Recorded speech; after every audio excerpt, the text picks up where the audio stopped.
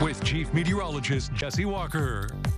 Hey everybody, had a great time today, this afternoon, down at Carlisle Elementary, talking to the kindergarten class. There they are right there. We talked about storms, which we had some of those this morning, and where to go, safety tips, all that good stuff. So hello to the kindergarten class at Carlisle. Had a great time down there today talking about the weather. We're going to continue the review of the winter outlook. This was the forecast, the coldest in the second half of the winter. It was a close call, but it actually was. The first half, we ended up at about 38 degrees. It's about 37.7 in the second half. So there's my record. We'll keep tracking along again tomorrow as we continue to look back at the winter outlook. I wanted to show you this. Thanks to Joshua, just got this in. Uh, this is from Clay City, Illinois, uh, about 9 o'clock this morning. Check it out. They had hail. We did have some severe thunderstorm warnings for that storm as it moved from around the Clay City area over towards Lawrenceville. So thanks to Joshua for that. Had some hail reports across the area earlier this morning. And we may still find some stronger storms coming in and also we continue with this uh, flood watch. This is basically from I-70 south. This is from now through early Saturday morning. The heaviest of the rain will come in two rounds, tonight, early tomorrow,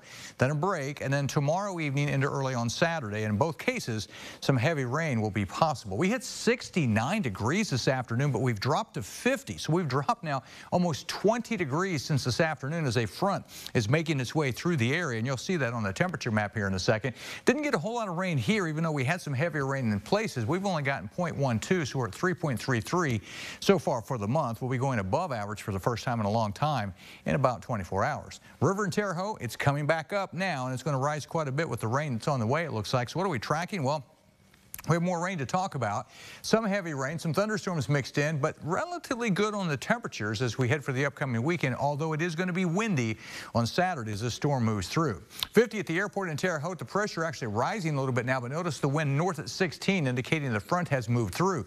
Look at these temperatures. It's 72 in Washington, but it's 43 in Crawfordsville. There's about a 30 degree drop with that front as it makes its way through. So the front's moving in, and we've got moisture coming up along the front, a lot of moisture. So we're going to see some showers and some thunderstorms developing tonight. The main storm is still back here. That'll arrive tomorrow night. So two waves of rain coming in. The first one tonight, front moving in. We're already starting to see some rain on the back side. So imagine the front dropping down here, and here comes some of that moisture now in the cooler air mass, and that's what we'll be getting tonight. But down south, we do see some of the heavier rain here around the Bloomington area. This just came out of Greene County where they had some heavier rain. Then you go down here towards Vincennes and we're actually showing some lightning in this, maybe some small hail in that as well. So pretty heavy storm there in the southern portion of Knox County. So the rain comes in tonight. You'll see this through the overnight. Should catch a break as we get into part of the day tomorrow. And then there'll be more rain that comes in tomorrow night early on Saturday. Most of this should be tapering off, though, once we get into Saturday afternoon. So two waves of rain on the way, and some of that could be heavy at times. Maybe even some snowflakes northwest of here on Saturday as colder air starts to move this way. Forecast looks like this for tonight. Rain will be redeveloping, could be heavy at times, 41 for the low.